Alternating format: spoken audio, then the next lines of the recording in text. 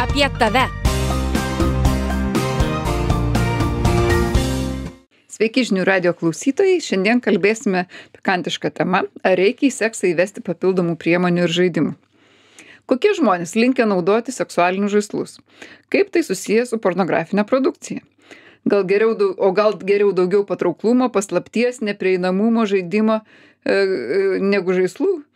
E, ar visgi nauji būdai tiesiog reiškia, kad trūksta jausmų ir artumo?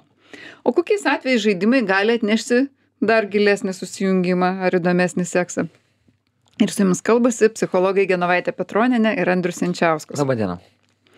Tai aš šiandien laikysiuos tokios psichologų tipinės pozicijos, kad iš tikrųjų tai e, žaidimai naudojami tada, kai trūksta artumo, kai norima e, tiesiog fiziniais būdais išspręsti tai, kas emociniais neišsisprendžia. Ir iš karto va, prisiminiau vienos savo klientės istoriją, kaip jinai susipažino su vaikinu ir vaikinas iš pradžių pradėjo reikalaut kad jinai būtų tiktai su aukštakulniais bateliais paskui net ir blynus kepdama paskui jisai jisai pradėjo jos prašyti kad jinai būtinai turi pajausti g tašką mylintis ir kad jinai turi treniruotis tuo klausimu.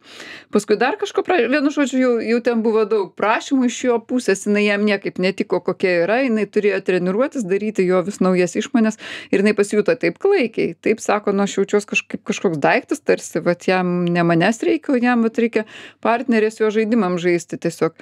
Ir jinai tikrai tokia na labai depresyvia būsena įėjo ir galiausiai vis dėlto suprato kad na reikia su juo atsisveikinti jeigu jis jis jau taip prilipęs prie tų žaidimų baisiai ir ir jinai jam dar vis netinkama tuose žaidimuose. Tai va tai mm, ir vaikinas be abejo buvo didelis pornografijos mylėtojas ir naudotojas tai tai va taip dažnai taip ne ne vien vienai ne vien jai vienai taip atsitinka. Jau girdėjau kaip minimum paskutiniu metu metu kokius tris kartus.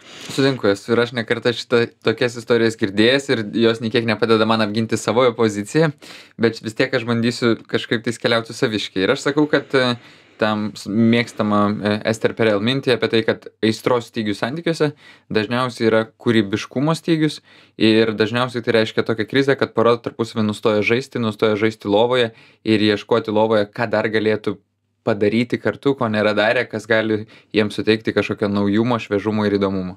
E, sutinku, kad žaisti ir kūrybiškai bendrauti tai labai labai gerai. Ir iš to kyla aistra. Visiškai sutinku su Estrel Peril mintim.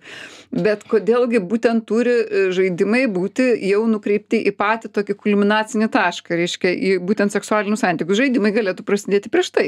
Mhm. Žmonės galėtų žaismingiau bendrauti, užduoti vienas kitam kažkokius galbūt asmeninius klausimus, galbūt kažką pasakyti vienas kitam kitam netikėto, žiūrėti į akis. E, e, na, maža ką galima daryti, nes iš, iš principo jausmai, mintis ir, ir tas gyvenimas, kuris vyksta iki lovos, suteikia daug didesnės galimybės, negu kad mes galime grinai seksualiniais būdais jas išlaužti. Ir, ir jeigu ten žmonės žaidžia prieš tai jau, jiems kyla įdomūs jausmai ten pavyzdžiui bučiuojasi ant kokio siūbuojančio tilto ar dar kažkas tai jiem kyla tada tas susijaudinimas ir jau jie gali tiesiog paskui pasimylėt kažkokiu tai būdu na kokį jie mėgsta koks jiems įprasta.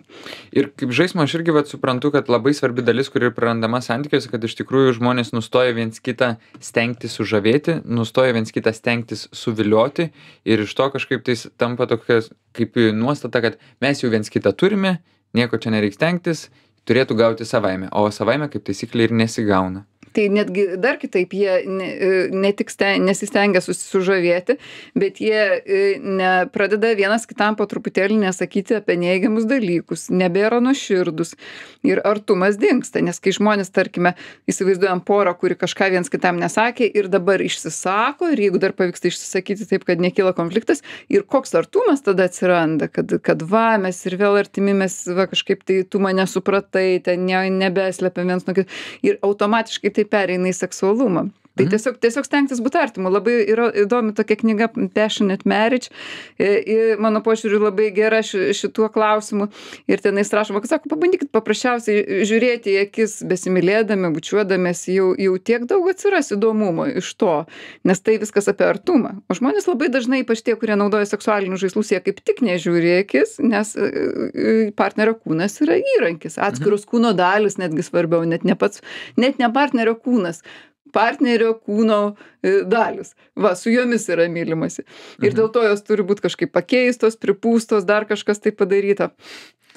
Ir iš vienos pusės aš su tavim absoliučiai sutinku nes e, viena iš didžiausių e, santykių krizių yra artumo krizė ir atsiradus artumo krizei iš tikrųjų žmonės neturi ir kokybiško mylėjimosi kartu ir neturi seksualinės aistros bet iš kitos pusės aš galvoju apie kitą krizę.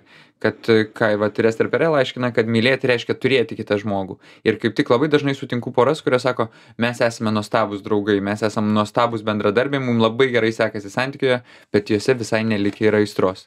Tai man atrodo kitas svarbus dalykas tai yra vis dėlto išlaikyti ir tam tikrą distanciją. Tai ne tik yra tam tikras artumas kad iš to artumo kažkodėl kaip tiktais būna kad sudega žmonės o va kaip palaikyti tą distanciją Sutinku, distancija labai reikalinga, nes, e, na, seksualumas tuo ir žavus, kad tai toks uždraustas vaisius. Ir kai yra to uždraustumo, bet žiūrėk, distancija, tai galima paprasčiausiai neprisileisti taip lengvai ar paprastai nesimylėti ten pagal grafiką. Tai yra žaidimas, žinai, Čia žaidimas.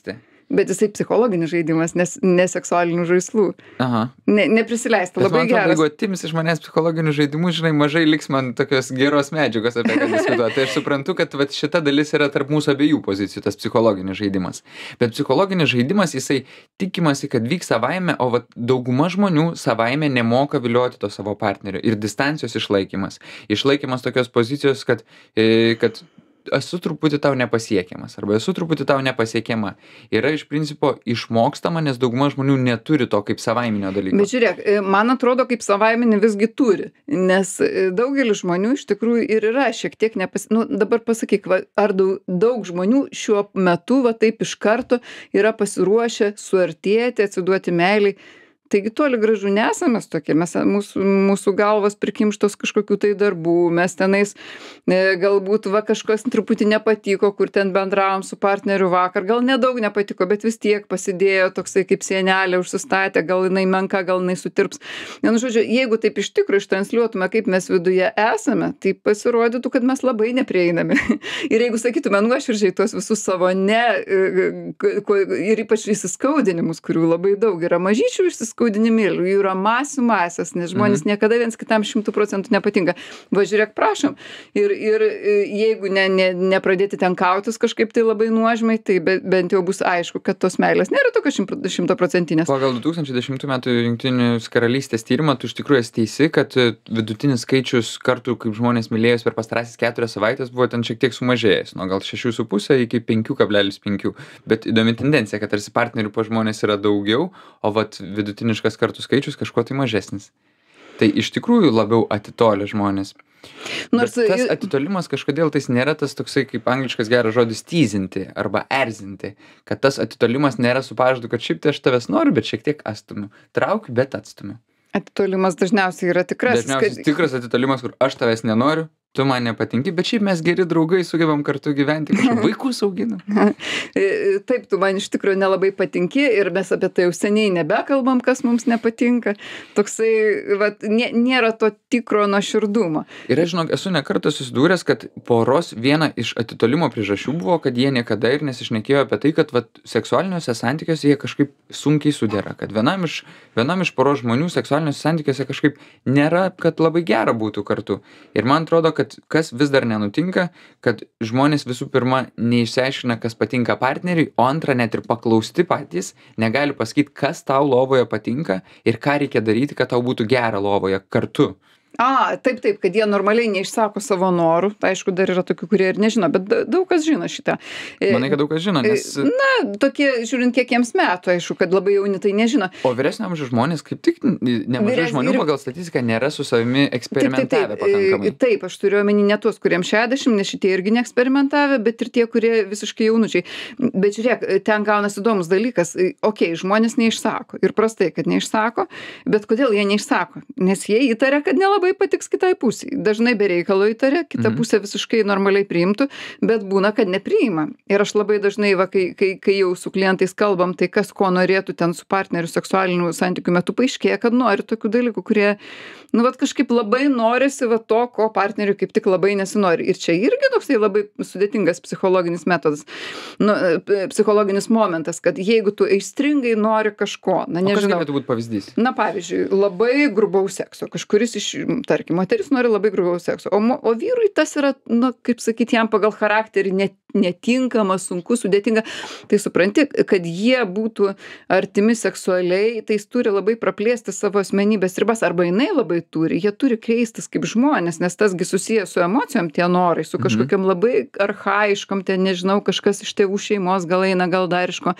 ir čia gaunas toksai nuoširdus susitikimas kad kad rasti tą kūrybiškai kažko kažkokį tai variantą jiems abiems tinkamą nes dažnai dėl to vat ir atšąla žmonės kad vienas nori vienokio sekso kitas kitokio. Ir vat aš to ir bijau kad kažkiek tai apribojimą įveda ta sociokultūrinė aplinka kur visų pirma vis dar kažkaip tais bijoma apie tai šnekėti ir apskritai aplinkoje bijoma pripažinti kad taip mes turime daug energijų kuriom neleidžiame dalyvauti savo seksualinėse sueityse kurios gali būt labai svarbios šerdinės mūsų energijos kurios praplėstų ir mūsų santykį bet sutinku kad tada partneriui irgi kažkaip reikia rasti erdvės ir paieškoti koks aš galiu būti kad priimčiau tą žmogų na ir kaip kaip nepasibjaurėt ar ne kad priimti tą žmogų jau su visais jo norais. Ne iš pornografijos man ir atrodo kad pasibjaurėjime didelė dalis yra mūsų auklėjimo kad vat šitą kažkaip Mhm. nepriimtina. Tas toksai susiaurinimas ir apribojimas kad seksualinė erdvė turėtų ten nežinau susidėti iš kelių pozų ir iš nežinau vieno susitikimo per savaitę kur abu susitarėme padarėme bet visa tai labiau mechaniškai ir be tokio tikro įsitraukimo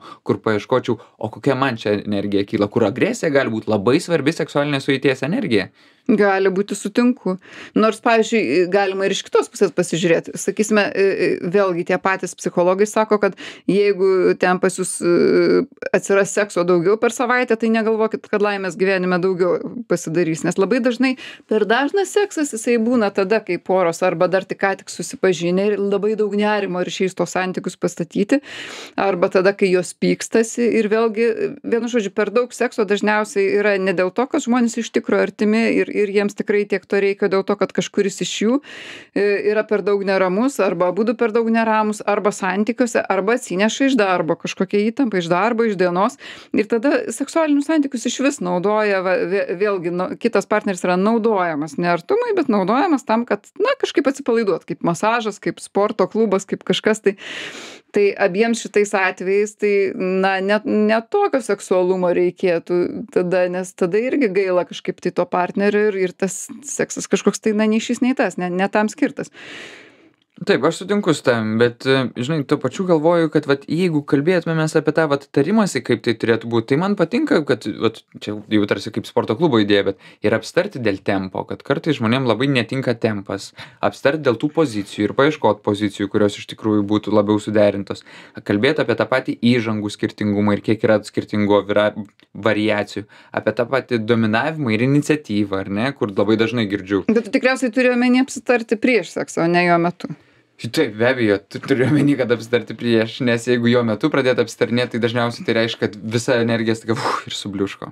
aha tai apsitarti kažkaip tai prieš tai paskui bandyti įgyvendinti na taip sutinku nors vat vis tiek man čia atrodo viskas teisingai ta tam reikia kreipti dėmesio bet vis tiek kažkaip tai per daug va to sekso gaunasi nes kai žiūrėk kai žmonės būna įsimylėję na ne ne toj fazėj kai pilni nerimo bet kai ti tiesiog va ta pradžia tokia pirmi metai sakysim taigi e, tas seksas taip fantastiškai liejasi tiesiog dėl to kad abudu badavo buvo vieniši ir dabar turi artumą ir labai labai džiaugiasi Bet aš manau, kad ne tik dėl to, dėl to, žinai, kad dar smegenyse vyksta cheminės reakcijos, kur mes kitą žmogų patiriame kaip narkotiką, kurio norim ir norim nuolatos to fizinio artumo su juo, bet, na taip, žinom, kad įsimylėjimo periodas jisai visą laiką pasibaigia. jisai pasibaigia žinoma E, bet e, labai man čia primena tai kad vat pavyzdžiui paaugliai jiems labai svarbus seksas yra paaugliai kai kurie tie asocialūs ypač paaugliai tie kur neturi su tėvais gero artimo ryšio. Tai jiems seksas labai svarbus nes jie nesugeba per emocijas patirti to artumo žaidimo prasmės ir jie tada per kūną viską bando.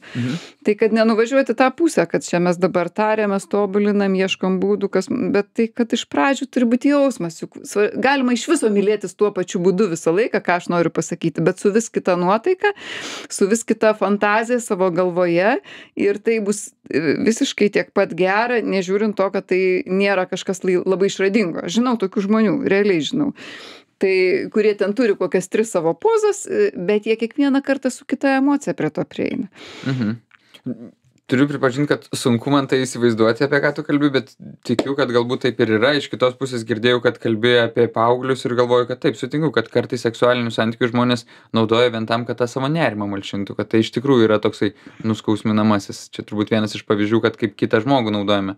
Bet man kitas dar labai pavyzdys patiko kad o jeigu pabandyti ir taip keliom savaitėm likti vien tiktais prie į įžangos žaidimų tiktais vilioti vienas kitą. Labai neblogas dalykas, čia Tiktais- Masters ir Johnson terapija, ar ne? Ne, žinok, nežinau pavadinimo, nes kelios skirtingais terapija. aspektais esu tai radęs, kad, Siūlo. Kad vat, keliam kažkuriam laikotarpiui atidėkime seksualinius santykius, bet tai reiškia, kad neatšalkime vienas nuo kito, kaip tik atvirkščiai. Liestis, glamonėti, bučiuotis, bet tik tai skylant tą energiją, fukšt ir sustabdyti. Tai čia jau kai kas neištvertų, kai kam čia jau per daug. Bet iš kitos pusės, kad vėl mes sugebėm užsi, užsiauginti tą energiją, kad labai trokštame vienas kito. Ir man atrodo, kad va tokia terapija labai gerai suveikia. Vie- Vietoj, taip, vietoj kažkokių tai sadistinių, mazochistinių žai- žaidimų ar ne, arba ten kokių tai ten rankų pririšimų, ten dar kažkokių tai gaitaško ieškojimo, vietoj to.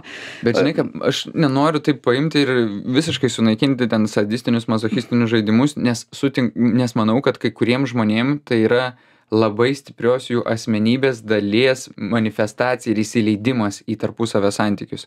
Taip sutinku, kad galbūt tie žmonės iš tikrųjų turi savo kažkokių sunkumų gyvenimo eigoje, kurie liejasi jų seksualiniai erdvėjai, bet gali būti, kad dar labiau užgniaužti tie sunkumai trukdo jiems kaip asmenybėms kažką tais labai svarbaus išmokti gyvenime. E, labai fainas filmas buvo kino pavasarį šiais metais neliesk manęs vadinasi Mhm. ir tenais labai gražiai atskleista kad iš principo net ir šitoje perspektyvoje du žmonės gali atrasti nors ir kažkuria prasme patologišką bet labai svarbų artumą jiems. Nes gali būt kad tiktai šitu kanalu per mazochizmą ir sadizmą jie gali pasijaust iš tikrųjų artimi vienas kitam su kitu žmogumi. Jeigu jiems abiems sutampa tokie poreikiai, jeigu yra tokie keisti, atsineša tokių keistų patirčių, tada taip, tada visas tas įgauna prasme. Bet bėda yra tada, kai žmonės tiesiog vat nėra artimi, ne, netu, neturi ką dar veikti, nuobodu ir tada jie pradeda tą kaip ir dirbtinai santykius atnešinėti, prisižiūrėję pornografijos. Man ir ieškodami aštrumo. jie užsifiksuoja tik tais ant to ir kai po truputį pastebi, kad vis dėlto be to būdo jie visiškai nesijaudina. Va čia, man atrodo, dar didelė Taip, problema. yra didelė. Ir taip dažnai atsitinka, vat, būtent tiem pornografijos žiūrėtojam ir besimokytojam iš to. Ir, ir tai dėl šito momento sutinku, bet dabar dar vieną noriu momentą dar pridėti, kad labai dažnai tie e, žmonės, kurie nori žaidimų, kurie nori kažko tai keisto, kurie nori ten gal trečią partnerį rinkim, gal dar kažką tai, e, dažniausiai tokie žmonės e, nejaučia susijaudinimo ir įsivaizduoja, kad jiems tą susijaudinimą turi kažkas atnešti iš Mhm. išorės. Vat jeigu partneris apsirengs labai gundančiai. Susijaudinimą. Jo, jo, jo. E, Reiškia, labai įdomiai, čia visiškai skirtingai negu kokiuose rytietiškose seksualumo mokymuose, pavyzdžiui, tantros mokymuose, visiškai priskiriama, kad arba aš pats pati esu seksualus, seksuali, reiškia, ir tada, na, tiesiog aš aišku tą skiriu savo mylimam žmogui, ne bet kam, bet iš manęs spinduliuoja tas seksualumas. Tas mylimas žmogus neturi nei ten kažkaip labai vilioti, nei gundančiai atrodyti. Tiesiog aš pats tai spinduliuoju. Arba jeigu aš pats nespinduliuoju, tai tada jau kažin ko reikia, tada kai būna, kad vat, vyrai ten kokie visiškai nieko nemylintis, impotentiški, da, dar kokie nusisamdo prostitutę, kuri jau viską daro, visus jo įgūdžius ir tada jisai, na, pasijaučia supermenu. O šiaip jisai su, su moterimi, kuri tiesiog yra, vat, kuri, kurią galbūt irgi, su kuria reiktų susitikti, kurią mylėti, jisai nesugeba to. Tai dažnai seksualiniai žaidimai yra skirti tam, kad savo, savo nublėsusius jausmus, paža, savo paties, va ir negalvojant, kad, na, tiesą sakant, pas mane širdis atšalus. Taip, bet žinok, aš netgi, vat, e, skaičiau šiandien tyrimą 2000, du tyrimai iš tikrųjų buvo 2009-2010 metų, kur grindai orientavosi į vyresnio amžiaus žmonės jungtinėje karalystėje nuo 60 ir viršų. Ir net ir šitoje amžiaus grupėje žmonės kalbėjo apie tai, kad jų seksualinė veikla jinai pakankamai plati, kad viskas neapsiriboja tiesiog standartinė suėtimi, kad tai yra ir analinis seksas, ir oralinis seksas, ir masturbacija. Tai mes kalbėtume, kad net šitoje amžiaus grupėje žmonės ieško įvairaus ir kažkokio turtingesnės galimybės kartu pabūti. Kad eksperimentavimas ir repertuaro praplėtimas, jisai nėra tik tais jaunų žmonių kažkaip tais paieška. Bet žiūrėk, va dabar tu paminėjai tokį dalyką. Aha, oralinis tai normalu, matyt, daugam taip yra, bet analinis. Tai aš irgi savo klientų visada ga, gana kruopšiai paklausiu, koks ten seksas, kaip ten su orgasmais, kiek būna ir taip toliau. Ir tiesą sakant, ką matau, kad analinis yra bent, bent jau mano klientų tarpe e, yra gana retas dalykas ir, ir taip pat pažįstamų tarpe. Tai vis dėlto yra kažkas tai... Bet, žinok, turiu tyrimus. 94 vienas tyrimas 33 e, procentai žmonių nors kartą gyvenime yra bandę. 2010-aisiais tai, nors 46 tai, procentai. Nors kartą gal daug kas yra bandę, bet kad kas, kas nors tai darytų dažniau. Tai tokių žmonių yra gana retai. Vis dėlto daugelis žmonių, tokių bent jau žmonių, kurie, na, kažkaip tai, kurie, kurie supranta psichologiją, naudojas psichologo paslaugom, šitie nelabai dažnai tą, tai naudoja. Nors gal vieną kartą ir pabandė.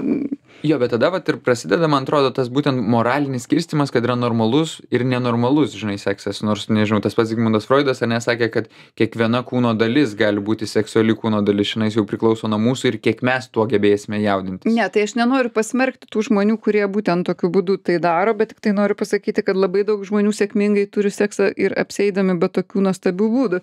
E, bet manau, kad pats laikas jau padaryti reklaminę pauzę. Apie tave. Taigi, grįžtame į žinių radio eterį. Šiandien kalbame apie tai, ar reikia į seksą įvesti papildomų priemonių ir žaidimų. Ir, ir e, na, vis dėlto aš lieku ties ta idėja kad seksas kuriame jausmai nėra pats svarbiausias dalykas tai yra savotiškas energijos išmetimas kur e, nei nei pats patiri artumą nei partneris neapdovanojamas. Ir ir va būtent seksas toksai kaip technika va tai g taško ieškom tai dar kažką darom jisai kaip tik ir yra e, labiau koncentruotas į kažkokius tai e, na mechaninius sakysime momentus negu į patį partnerį negu į į partnerį negu į savo paties jausmus ir realiai gaunasi kad tai yra toksai nu gana keista tokia meditacija kurios metu būtent prarandama energija mhm.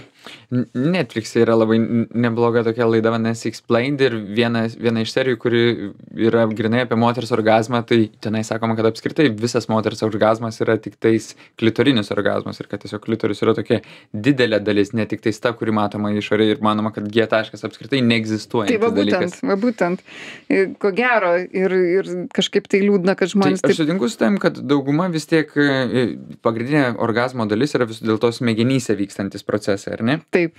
Bet, e, bet nesutinku, kad, e, kad artumas yra įmanomas tik tais per kažkokią labai gražią santykių darną. Nes lygiai taip pat daug žmonių kalba apie tai, kaip, kaip gerai turi seksualinius santykius, tarkim, spręsdami pykčius. Ir staiga pykčius užglaisto seksualiniais santykiais. Kiek žmonių kalba apie tai, kad kaip, e, nežinau, seksas puikiai veikia tada, kai išgyvena kažkokį gedėjimo periodą. Mhm. Arba kaip seksualiniai santykiai yra būtent tada geri, kai išsiskiria ir vėl suartėjai.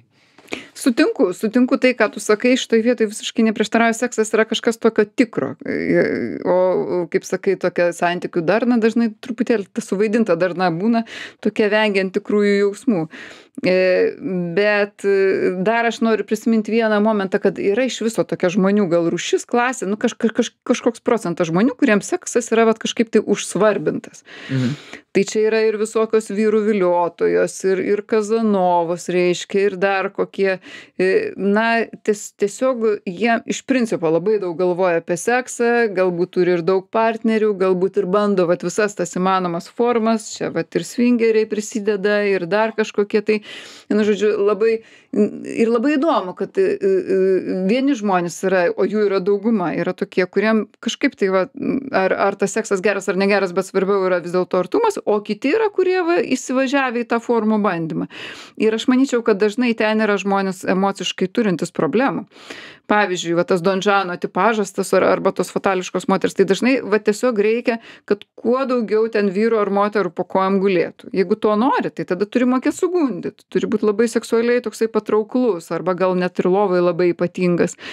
E, taip pat e, na kažkaip tai e, norisi norisi išbandyti daug tų sekso formų tada reikia vis keisti partnerį su vienu pabuvai su kitu pabuvai prisirišimas sunkiau jau negali prisirišt prie vieno žmogaus vienu žodžiu ką noriu pasakyti kad kad dažniausiai tuo naudojasi emociškai na sudėtingi žmonės taip švelniai bet tariant aš galvoju, kad jeigu žmogus turi labai stiprus impulsus einančius iš vidaus ir iš tikrųjų, jeigu jisai turėjo kažkokių sudėtingumų, dėl kurių jūs, jo seksualumas yra padidintas ir jisai turi didžiulę trauką, jeigu mes paimsim ir tiesiog ją užrepresuosime ir užspausime, ar to žmogaus gyvenimas tikrai nuo to bus geresnis? Ką tu manai? E, pf, gyvenimas, e, aš manau, bus geresnis, jeigu jisai tai kažkaip sublimuos, kaip Freudas sakė. Mhm. Jeigu jis užsims sportu, jeigu jis užsims kūryba, na kažkuo tai užsims, kur kur išsilietų jo fizinė, emocinė energija. Jeigu jis, aišku, ten pradės, žinai, kažkokį tai dar, darbą daryti su kompiuteriu, tai tikrai jinai niekur nedings ir tada kažkokią priklausomybę pervirs visas šitas.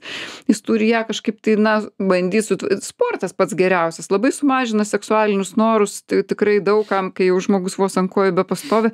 Ir, Bet žinai, Aš tikiu, kad žinai, kad tai gali būti tiesiog pereinamas laikotarpis žmogaus gyvenime. Ir esu gyvenime dirbęs su žmogum, su, su mergina, kuri patyrė seksualinę prievartą ir jos iš tikrųjų pirminė reakcija gyvenime buvo, jinai bent tris metus gyveno seksualiai laisvą gyvenimą ir jai tuo metu tai buvo kaip ir geriausia savirealizacija, kur iš principo buvo, kaip aišku, po traumuojančios patirties, tam tikra kompensacija ir aišku, buvo daug rizikingų patirčių ir, ir tikrai nemalonių patirčių, bet vėliau staiga jinai perško kaip tik į priešingą pusę. Absoliučiai sustojo, nustojo mylėti su niekuo, turėjo kelis metus visiškos tylos, partnerių nebuvimo ir tada po truputėlį iš tų kraštutinumų išsibalansavo ir grįžo atgal į kažkokį tai sveiką seksualinį gyvenimą.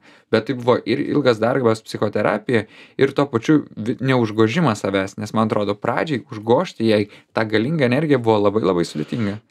na, čia toks labai ypatingas atvejis, sakyčiau, gal aš, aš tokių net nesustikus, bet teoriškai jis galėtų būti, nes kažkaip tai ar tikrai buvo gerai jai turėti tą didelę seksualinę, bet vyrai irgi tai daro ir jie kai kuriems iš jų gerai, bent jau jie tai sako. Tai, tai vad klausimas, man atrodo, kad kaip e, iki galo neužstrikti tame periode, nes esu tikrai sutikęs ne vieną žmogų, kuris atkeliauja į terapiją apie 40-45 ir jisai sako, aš jau esu priklausomas ir tada iš tos priklausomybės seksualinės labai sunku būna pajudėti. Na, o aš dar norėčiau dar vieną punktą pasakyti, kad dažniausiai, o- na dažniausiai, o, o dažnai, kai jau reikia visokių seksualinių žaisliukų, gali reikšti, kad partneris tiesiog ne tas. Kad jau žmonės tiek yra nutolę vienas nuo kito, arba tiesiog jie netinka seksualiai vienas kitam. Ir, ir kaž, su kažkokiu tai kitokiu žmogum tiesiog ir be jokių žaislų tas seksas kažkaip tai ta trauka bus didesnė, nes būna tokių nesutapimų tarp O ką žmonių. reiškia netinka vienas kitam kaip? Netinka supranti? vienas kitam, ji e, netinka ta prasme, kad jie turi e, per daug nesudėrėjimų asmenybinių charakterio. Jie Mhm. yra labai skirtingi žmonės ir jie daug kam erzina vienas kitą ir jie dėl to erzinimo turi apsiriboti, jie daug ko neduoda vienas kitam, ko norėtų. Jie apsiriboja, apsiriboja, apsiriboja, kad būtų taikų santykiai, galų gale tokie visi jaučiasi išsiprievartavę, nebenuoširdus ir tada, na, koks tenai seksas be bus geras. Dažniausiai ta prasme netinka, bet būna ir biologiškai netinka, kad vienam ten reikia greitai, kitam lietai, tai tada irgi nelabai gali ką pareguliuoti. Ir aš šitoje vietoje iškart pradedu galvoti apie Ester Perel atvejį, kur jinai, jinai turi savo podcastą, kur buvo įrašusi, jinai tenais vis konsultuoja poras ir viena, vienas iš susitikimų vadinasi Kalbėk su manim prancūziškai, talk to me in French. Ir tenais buvo pavyzdys, kur ateina vyras ir moteris, sako, mes seksualiai visiškai esame nesuderinami, tikrai mums niekas nesigauna, mes tiesiog, nu, vat, susitokėme ir ketinome pasimylėti pirmą kartą, pasimylėjom pirmą kartą ir supratome, kad nieko nevyksta. Ir galiausiai knisdamas į juose jinai atrada, kad iš tikrųjų tas vyras yra toksai visiškai nekovotojas, gerėtis, švelnus, o ją kaip tik traukia vyrai, kurie yra tokie laukiniai kovotojai. Ir jinai pastebi, kad tas vyras, kai kalba prancūziškai, jis virsta į kažkokią kitą asmenybę. Ir man atrodo, vat, įdomus momentas, kad kiekvienas mes iš tikrųjų nesame tik tai ta siaura asmenybė, kurioje dažnai esame pripratę gyventi. Mes turime ir kitų asmenybių, kurias galime paauginti ir iš tikrųjų tapti patrauklesni savo partneriui. Tai kągi, tai faktiškai mes ir prieiname prie to, kaip mums būti psichologiškai tokiais, kad mes jaustume trauką, o ne naudotume žaislus.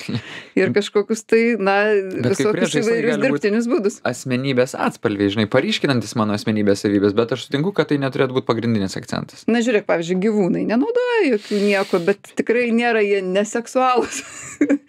kai, kai kur ir esam nutolę nuo kažkokios tai savo natūralios prigimties. monogamiškų santykių, žinai, kurie tęsiasi 50 metų. Na čia priklauso nuo rūšies gyvūnų, čia įvairių jų yra. tai kągi, tai linkime radio klausytojams, na, kažkaip tai atrasti savo būdus žaismingumą ir, ir kaip jausti trauką ir kas sumažina tą trauką su jūsų turimu partneriu. ir atsisveikiname su jumis iki kito penktadienio. Šį ir kitus radio įrašus rasite svetainėje žinių radijas.lt. Viso gero. Apie tave